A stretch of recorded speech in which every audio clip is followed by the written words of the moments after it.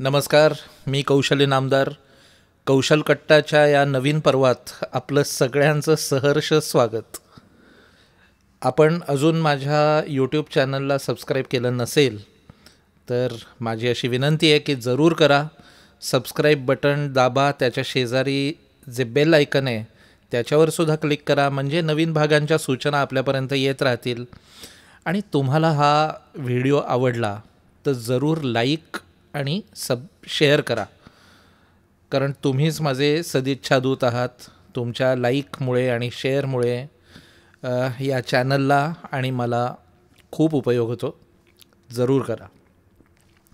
तर आजचा आपला विषय कृत्रिम बुद्धिमत्ता.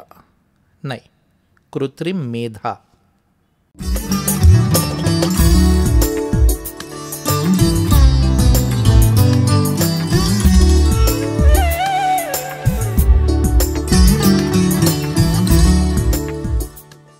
हे तंत्रज्ञान आपल्याला पुन्हा एकदा रानटीपणाकडे घेऊन जाणार आहे.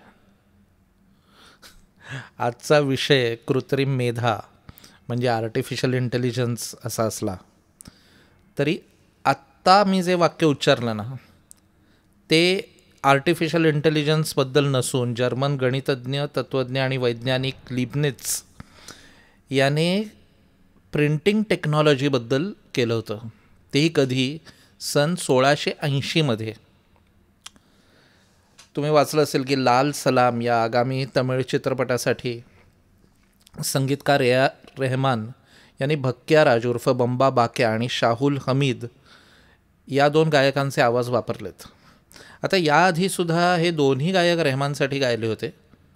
पण लाल सलाममध्ये त्यांच्या आवाजात जेव्हा रेहमानने गाणं तयार केलं तेव्हा एक गोष्ट बदलली होती. ती म्हणजे या गाण्यांच्या ध्वनिमुद्रणाच्या वेळी हे दोन्ही गायक हयात नव्हते. रेहमाननी कृत्रिम मेधेचा वापर करून या ध्वनिमुद्रणामध्ये या दिवंगत गायकांचे आवाज त्याच्या गाण्यात उतरवले. या दोन्ही गायकांचा मृत्यू तसा अकालीच झाला. बंबा बाक्या हे वयाच्या अवघ्या एक्केचाळीसाव्या वर्षीच हृदयविकाराच्या झटक्याने गेले. आणि शाहुल हमीद यांचं निधन एका वाहन दुर्घटनेत झालं. तेही एक्केचाळीस वर्षाचेच होते गेले तेव्हा. तर या दोन्ही कलाकारांचं जाणं तसं चटका लावून जाणारं होतं. म्हणजे हे ते जगले असते तर अजून गायले असते. पण नियतीने ही संधी अतिशय निर्घृणपणे हिसकावून घेतली. त्यांच्याकडूनही आणि आपल्याकडूनही ऐकायची त्यांना. पण नियतीने प्रस्तुत केलेल्या आव्हानांना सतत उत्तर देण्याचा गुणधर्मच आहे माणसाचा. आणि या युद्धात माणसाकडलं एक शस्त्र म्हणजे तंत्रज्ञान. या घटनेमुळे संगीतामध्ये कृत्रिम मेधेच्या वापराबद्दल अनेक मुद्दे आता चर्चेत आलेले आहेत. कविता कृष्णमूर्तींसारख्या ज्येष्ठ गायिकेने संगीतामध्ये कृत्रिम मेधा वापरण्यासंबंधातली एक भीती व्यक्त केली आहे. आणि ही भीती स्वाभाविक आहे. कारण हे कुठवर जाणार? याचा याचा गैरवापर तर होणार नाही ना. बरं झाला तर कसा होईल? या सर्वातून उद्भवणाऱ्या नैतिक कायदेशीर आणि तांत्रिकसुद्धा प्रश्नांचं नक्की काय होणार आहे? तर कौशलकट्ट्याच्या या भागात आपण जरा याच गोष्टीचा मागोवा घेऊ. तर एकोणीसशे चौऱ्याण्णव साली जेव्हा मी पहिल्यांदा एका ध्वनिमुद्रणालयात म्हणजे स्टुडिओमध्ये पाय ठेवला तेव्हा ती सगळी अत्याधुनिक यंत्रसामग्री पाहून मी असा अचंबित झालो होतो. इतक्या सगळ्या यंत्रांच्या सान्निध्यात बसून त्यांच्या सगळ्या त्या कळी दाबून एका फितीमध्ये आसमंतातले सगळे आवाज बंदिस्त करून घेणारा तो ध्वनिमुद्रक म्हणजे साऊंड इंजिनियर मला हा कुठल्या तरी इंग्रजी चित्रपटातल्या एखाद्या माथे फिरू शास्त्रज्ञासारखा भासत होता. म्हणजे हजारो बटणं असलेलं एक यंत्र त्याच्यासमोर ठेवलं होतं ज्याला तो मिक्सर म्हणून संबोधत होता. आता मी केवळ किचनमधला मिक्सर तोवर ऐकला होता पण रात्री घाटातून खोपोली दिसावी तसे त्या यंत्राचे दिवे अंधारात दिसायचे. टूथपेस्टच्या ट्यूबच्या झाकणांसारख्या दिसणाऱ्या असंख्य बटनांच्या रांगा आणि मग त्यांच्या खाली अशा त्या वर खाली अशी सरकणारी बटणं ज्याला तो फेडर्स म्हणत होता. त्या बटनांनी तो त्या आवाजाचं ध्वनिमान म्हणजे व्हॉल्यूम नियंत्रित करत होता. त्याच्यासमोर एक असं भलं मोठं टेपचं यंत्र होतं ज्यामध्ये आवाज ध्वनिमुद्रित होत होता एका स्पूलमध्ये त्याच्या उजव्या बाजूला आणखी काही यंत्र होती. ज्यामध्ये त्या आवाजावर तो वेगवेगळ्या प्रक्रिया करत होता. म्हणजे जसं की आवाजाची वारंवारता म्हणजे फ्रिक्वेन्सी नियंत्रित करणं असो किंवा त्या आवाजात एक प्रतिध्वनी एको रिव्हर्ब मिसळणं असो. आता हे सगळं दृश्य माझ्यासारख्या नवख्या संगीतकारासाठी भारावून टाकणारं होतं. एरवी वाऱ्यावर विरून जाणाऱ्या स्वरांना कायमस्वरूपी बंदिस्त करून ठेवण्यात इतकं सगळं तंत्रज्ञान त्यामागे उभ्यास उभं असतं. ही जाणीवच तंत्रज्ञानाबद्दल माझ्या म्हणजे मनात आकर्षणाचं आणि कुतूहलाचंही कारण होतं. आता ॲनलॉग तंत्रज्ञानाचे ते दिवस होते. म्हणजे काय? तर ध्वनिलहरी मायक्रोफोनच्या साह्याने विद्युत लहरींमध्ये परिवर्तित होतात. आणि चुंबकीय म्हणजे मॅग्नेटिक टेपवर त्या लहरी टेप हेडच्या घर्षणाने लिहिल्या जातात. आता ऐकताना पुन्हा एकदा ती टेप प्ले केली जाते. टेप हेडच्याच साह्याने त्या विद्युत लहरींचा अनुवाद ध ध्वनी लहरींमध्ये होतो. आणि आपल्याला जो ध्वनिमुद्रित केलेला आवाज आहे किंवा गाणं आहे ते ऐकू येतं. असं म्हटलं तर सरळ सोट असं तंत्रज्ञान यामागे होतं. मी या क्षेत्रात आलो तेव्हा एक शब्द आमच्या कानावर वारंवार पडू लागला होता आणि तो शब्द होता डिजिटल. ॲनलॉग तंत्रज्ञानात टेपमुळे जो असा आवाज यायचा तुम्हाला आठवत असेल तो डिजिटल तंत्रज्ञानात बिलकुल येणार नाही. डिजिटल म्हणजे स्वच्छ स्पष्ट आवाज. डिजिटल म्हणजे निर्दोष ध्वनिमुद्रण. अशा अनेक गोष्टी आमच्या कानावर तेव्हा पडू लागल्या होत्या. निमिषातच ॲनलॉग तंत्रज्ञान हद्दपार झालं आणि मोठमोठाली ती स्पूल ध्वनिमुद्रण यंत्र जी होती ती जाऊन त्यांची जागा आता स्मार्ट दिसणाऱ्या अशा छोट्या डिजिटल ऑडिओ टेप्सनी घेतली. या तंत्रज्ञानात श्रोते कॅसेटवर गाणं न ऐकता सी डीवर म्हणजे कॉम्पॅक्ट डिस्कवर ते ऐकू लागले. ज्या हिसला घराबाहेर हाकलण्याकरता तंत्रज्ञांनी कष्टाची पराकाष्ठा केली होती आणि अनेक डॉलर्स खर्च केले होते ती हिस आता बिलकुल ऐकू येईन अशी झाली होती. आता या हिसची कहाणी मी कौशलकट्टाच्या एका पुढच्या भागात सांगणार आहे. जेव्हा आपण संगीतातल्या यंत्र यंत्रांबद्दल आणि तंत्रज्ञानाबद्दल बोलू. पण हे तंत्रज्ञानसुद्धा काही काळच टिकलं. आता ते इतकं झपाट्याने बदलत होतं की सी डी ही जी गोष्ट आहे ना ती माझ्यासमोर भारतात आली आणि माझ्यासमोर ती लुप्तही झाली. डिजिटल तंत्रज्ञानात जी पुढची क्रांती झाली ती ध्वनिमुद्रणासाठी संगणकाचा वापर. आता नॉन लिनियर आणि नॉन डिस्ट्रक्टिव्ह असं ध्वनिमुद्रण करण्याची सोय उपलब्ध झाली. सांगतो म्हणजे उलगडून सांगतो. याचा अर्थ असा की पूर्वी गाणं अथपासून इतीपर्यंत ध्वनिमुद्रित करावं लागायचं. पण आता संगणकामुळे या गाण्याचा कुठलाही भाग कुठल्याही क्रमात ध्वनिमुद्रित करता येऊ लागला. दुसरं कडवा आधी तर आधी पहिलं कडवं नंतर तर नंतर. शिवाय चूक झाली तर तेवढी चूक दुरुस्त करता येत होती. किंवा ध्वनिमुद्रणाचा कुठलाही भाग चुकून पुसला गेला तर तो अंडू या एका बटनावर पुन्हा प्रकट करण्याची मुभा मिळू लागली. नॉन डिस्ट्रक्टिव्ह आता हे तंत्रज्ञान जसं सुधारायला लागलं ना तसं अधिकाधिक स्वस्तही व्हायला लागलं आणि सर्वांना ते परवडायला लागल्यामुळे एका अर्थाने या सगळ्या तंत्रज्ञानाचं एक लोकशाहीकरण डेमोक्रेटायझेशन झालं. मोठमोठ्या स्पूल्सची जागा आता खिशात मावणाऱ्या पेनड्राईव्हनी घेतली. वेड्या शास्त्रज्ञाच्या खोलीतली ती प्रचंड यंत्रसामग्री आता मांडीवर ठेवता येऊ शकणाऱ्या इवल्याशा संगणकात म्हणजे लॅपटॉपमध्ये सामाय सामावायला लागली आणि ज्या स्टुडिओंसाठी हजारो चौरस फुटांची जागा व्यापली जायची ते आता घराच्या एका कोपऱ्यात मावू लागले. Virtual studio technology V S T. अर्थात अमूर्त स्टुडिओ तंत्रज्ञान. आता हे तंत्रज्ञान आल्यामुळे सगळी मोठमोठाली जी मशीन्स होती ना जी पूर्वी त्या ध्वनिमुद्रकाकडे होती किंवा गॅजेट्स ती आता संगणकाच्या डब्यात आभासी स्वरूपातच यायला लागली. म्हणजे आवाजाचं सुद्धा दृश्यरूप आता संगणकावर त्या वेब फॉर्ममध्ये दिसायला लागलं. सॉफ्टवेअरमधूनच आता एखाद्या धुनेसाठी रिवर्ब म्हणजे प्रतिध्वनी समाविष्ट करता येऊ लागला किंवा आवाजाचा व्हॉल्यूम जिथे जास्त होतो आहे तिथे कॉम्प्रेसर नावाचं एक आभासी साधन वापरलं की तो आपोआप जिथे आवाज जास्त होतो आहे तिथे तो कमी होऊ शकत होता. हेच जे व्ही एस टी तंत्रज्ञान आहे ते एका अर्थाने संगीत क्षेत्रातल्या कृत्रिम मेधेचं पूर्वचिन्ह ठरलं.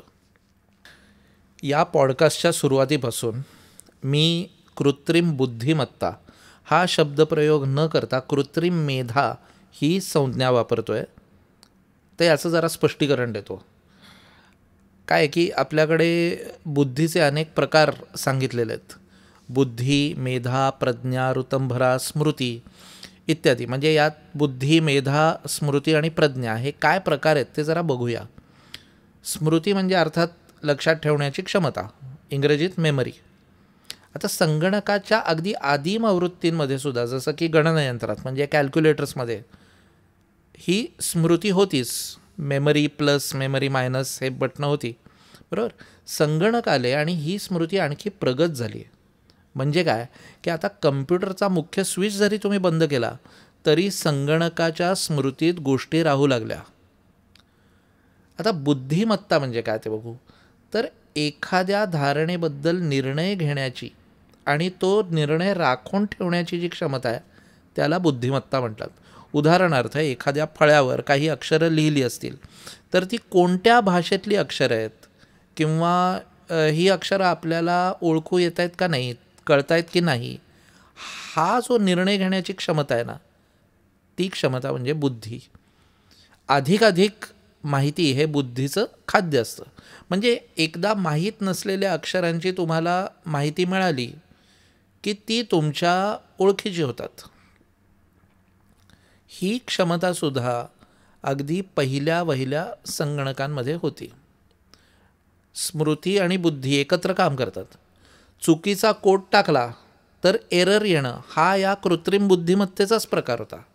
अमुक एक गोष्ट आपल्याला समजती आहे आणि तमुक एक गोष्ट आपल्या आकलनाच्या पलीकडची आहे याचा निर्णय संगणक फार पूर्वीपासून घेत होते.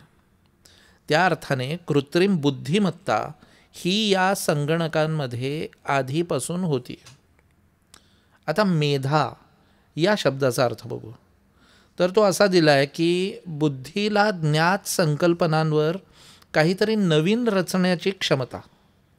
मेधा या शब्दाशी संबंधित मेध हा जो शब्द आहे त्याचा एक अर्थ म्हणजे एखाद्या गोष्टीचं सार किंवा तात्पर्य काढणं.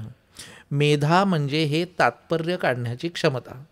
इथे केवळ संकल्पना समजणं इतकंच अपेक्षित नाही आहे तर त्या संकल्पनेच्या आधारावर आपलं विश्लेषण करून त्याचं सार तरी काढणं म्हणजे हे तरी अपेक्षित आहे किंवा त्याचं एक तात्पर्य काढणं त्याच्यावर काहीतरी नवीन रचणं. आता कृत्रिम मेधा नेमकं हेच करते. यंत्राच्या आधारे एखाद्या गोष्टीचं विश्लेषण करून निर्णय घेण्याची क्षमता आणि त्यावर अधिक काही रचण्याची क्षमता किंवा त्या गोष्टीचं सार किंवा तात्पर तात्पर्य काढण्याचं जे काम आहे हे करणं म्हणजेच कृत्रिम मेधा.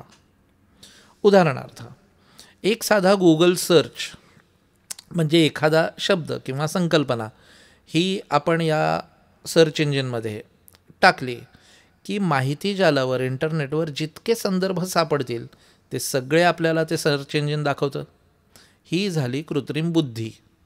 पण हेच शब्द तुम्ही चॅट जी पी टी या कृत्रिम मेधेच्या बॉटमध्ये फीड केलेत. तर हा बॉट काय करतो? की ती माहिती गोळा करतोच.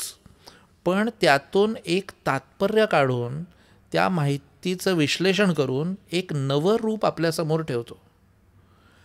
माणूस जशी आपली ही विश्लेषणाची क्षमता वापरतो तसंच संगणक ही ती वापरतो. आता संगीत क्षेत्रात ही कृत्रिम मेधा विविध पद्धतीने वापरली जाते ते कसं बघू? तर पहिला वापर जो होतो आहे तो संगीत रचनेच्या क्षेत्रात. संगीत रचना म्हणजे म्युझिकल कॉम्पोजिशन हे करण्यासाठी कृत्रिम मेधेचा वापर आता क करण्यात येतो आहे कसा? तर बोमी नावाचा एक ॲप आहे आणि असे अनेक ॲप्स आहेत ज्यांना एका वाक्यात तुम्ही समजा आदेश दिला की शांत योग साधनेसाठी संगीत हवं आहे तर ही आज्ञावली म्हणजे सॉफ्टवेअर तुमच्या आदेशाप्रमाणे नवं गाणं करून देते. किंवा संगीताच्या एका नव्या तुकड्याची रचना करून देते. मला एक रोमॅन्टिक धून ज्यामध्ये सॅक्सोफोनचा वापर आहे अशी आज्ञा तुम्ही द्या. तर तशी धून तुम्हाला सॅक्सोफोनच्या आवाजासहित ही आज्ञावली करून देईल. दुसरं क्षेत्र आहे ते ध्वनी मिश्रण आणि मास्टरिंगचं क्षेत्र. आता संगीत निर्मितीतला एक महत्त्वाचा घटक म्हणजे ध्वनी मिश्रण म्हणजे मिक्सिंग आणि दुसरा मास्टरिंग. म्हणजे काय तर अर् गाणं बाजारात आणण्याकरता ते सुसज्ज करण्याची प्रक्रिया. यात इक्वलायझेशन कॉम्प्रेशन मॅक्झिमायझिंग अशा काही तांत्रिक अनेक प्रक्रिया त्या गाण्यावर केल्या जातात. त्याच्यात आत्ता नको जायला. आणि त्यातला हेतू हाच आहे की गाण्याची निर्मिती मूल्य त्याच्यात वाढवावी. तर ओझॉन लँडर यासारख्या अनेक आज्ञावली म्हणजे सॉफ्टवेअर्स अशा आहेत जिथे ही प्रक्रिया आता सर्रास कृत्रिम मेधेच्या साह्याने केली जाते. गाण्याचा एक भाग ऐकून ही आज्ञावली निर्णय घेते की किती प्रमाणात कुठली फ्रिक्वेन्सी वाढवायला हवी?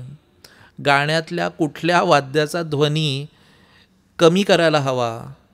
जिथे जास्त आवाज आहे तिथे किती प्रमाणात तो दाबायचा? किंवा कमी असेल तर किती प्रमाणात वाढवायचा? इत्यादी. तिसरा उपयोग वाद्य आणि आवाज आवाजाच्या पुनर्निर्मिती करण्यासाठी. म्हणजे कृत्रिम मेधेचा संगीतामधला हा तिसरा आणि महत्त्वाचा उपयोग. म्हणजे वाद्य आणि आवाजाची पुनर्निर्मिती करणं.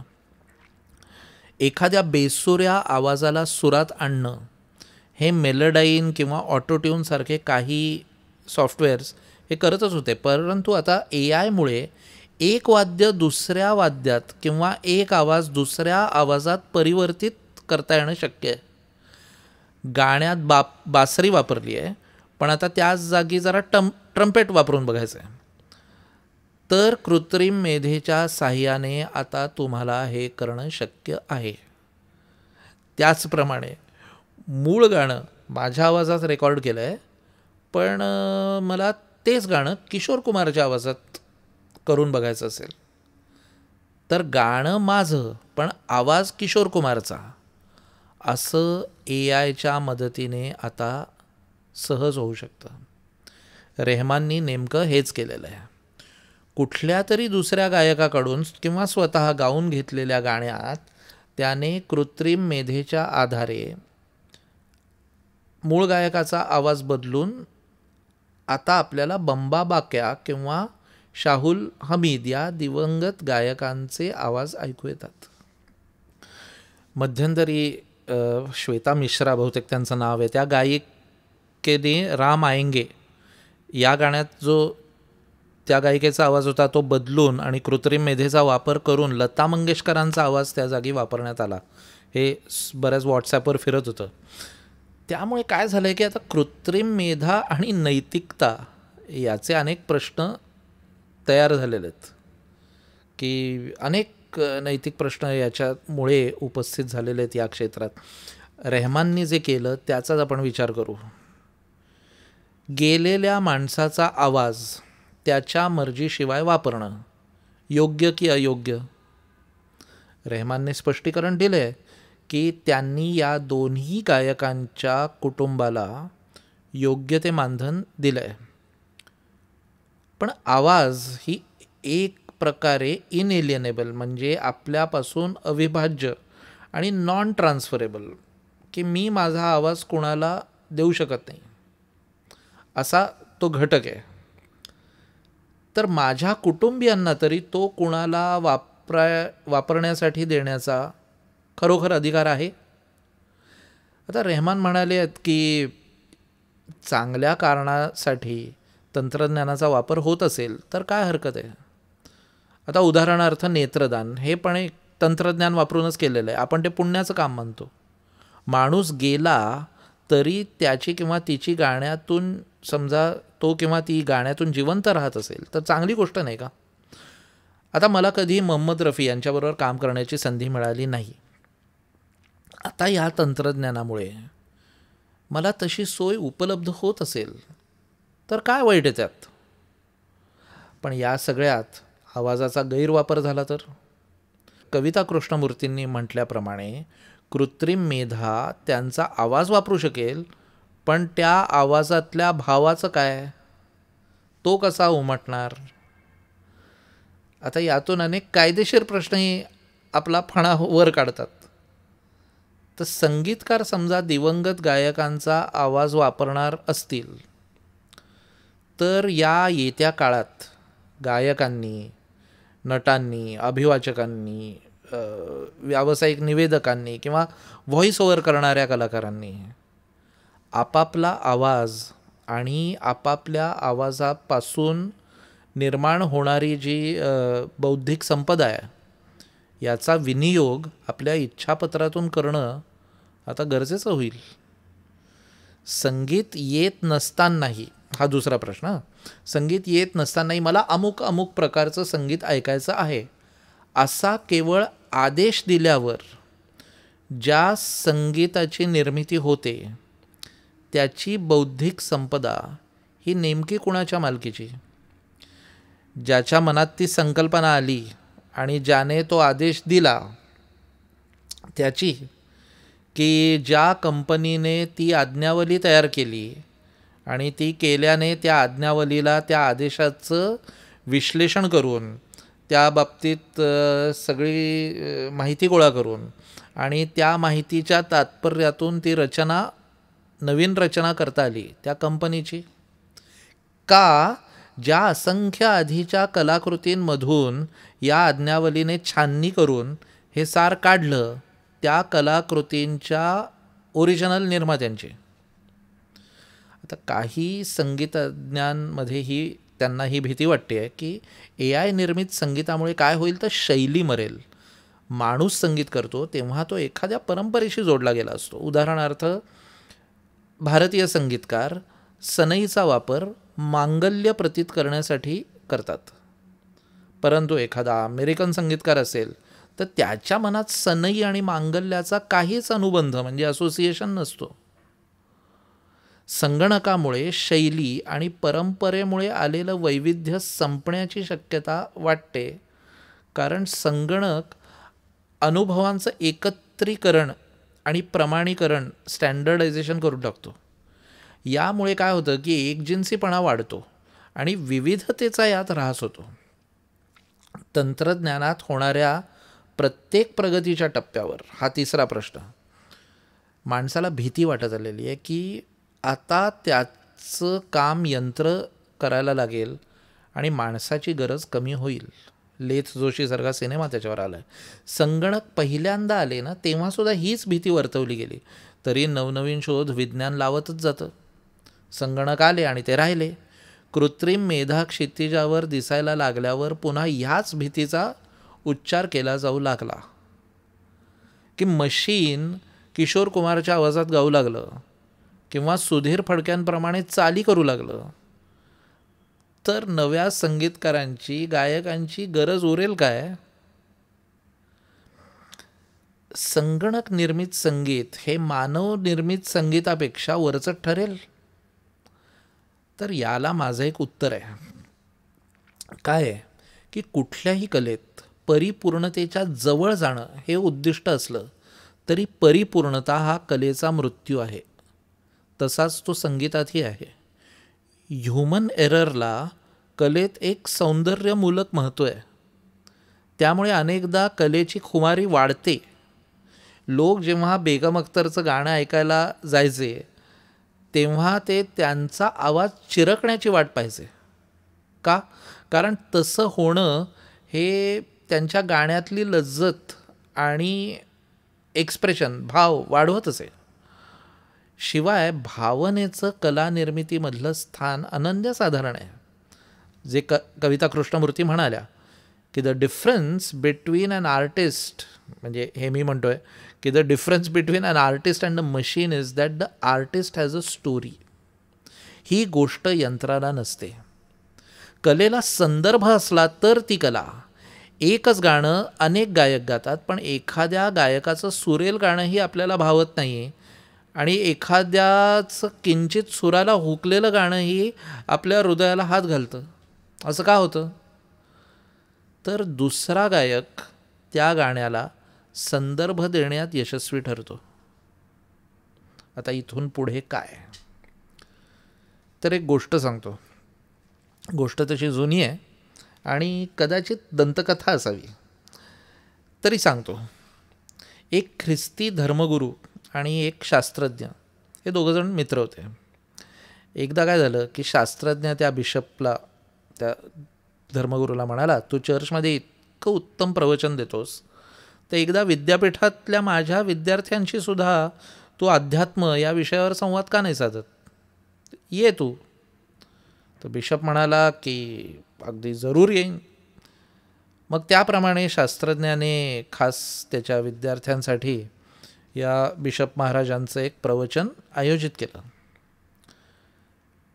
ठरलेल्या दिवशी बिशप तिकडे गेले आणि प्रवचनात बिशप महाराज म्हणाले की आता विज्ञानाचं काम संपलं आहे त्यामुळे तुम्ही सर्वांनी अध्यात्माकडे वळायला हवं. त्यावर एका विद्यार्थ्याने हातवर गेला आणि प्रश्न विचारला पण उद्या कोणी एखाद्या उडू शकणाऱ्या यंत्राचा शोध लावला तर? कारण विमानांचा शोध लागायचा होता अद्याप. तर बिशप म्हणाले अहो ते शक्य नाही आहे बाळा. परमेश्वराच्या मनात असतं की माणसाने उडावं. तर त्याने माणसाला पंख दिले असते.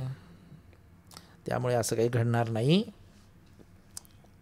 तुम्ही माझं मान्य करा आणि अध्यात्माच्या वाटेवर लागा. त्या बिशपचं नाव होतं मिल्टन राईट. त्याला दोन मुलं होती ऑरविल आणि विल्बर. ज्यांनी विमानाचा शोध लावला. आता ही क कथा खरी आहे का खोटी आहे मला माहीत नाही पण याचं तात्पर्य फार बोलकं आहे. काळाप्रमाणे तंत्रज्ञानाला एकच दिशा ठाऊक आहे पुढची.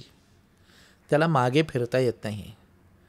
ते वरदान स्मृतीच्या रूपाने केवळ माणसाला मिळालं आहे बुद्धी मेधा स्मृती धृती प्रज्ञा आणि विवेक या सर्वांचं संश्लेषण सिंथेसिस केवळ मानवाच्या मनातच आहे. चांगलं वाईट याचा निर्णय करून विवेकानं निर्णय घेण्याचं सामर्थ्य हे केवळ आणि केवळ आपल्यालाच लाभलेलं आहे. पंडित यशवंतदेव एकदा म्हणाले होते की यंत्राचा वापर करण्यात काहीच गैर नाही. उलट तो केलाच पाहिजे. पण यात माणसाचं यंत्र होत नाही ना. याकडे मात्र डोळसपणे लक्ष दिलं पाहिजे. इतर कुठल्याही तंत्रज्ञानाप्रमाणे कृत्रिम मेधेबद्दलही मला असं वाटतं की तंत्रज्ञानाला आपल्यावर आरूढ होऊ न देता आपण त्यावर आरूढ व्हायला हवं. आणि त्यासाठी या तंत्रज्ञानाच्या फार आपण ग्लॅमरमध्येही राहता कामा नये आणि त्याची भीतीही बाळगता कामा नये. पुन्हा भेटू कौशल कट्टाच्या पुढच्या भागात.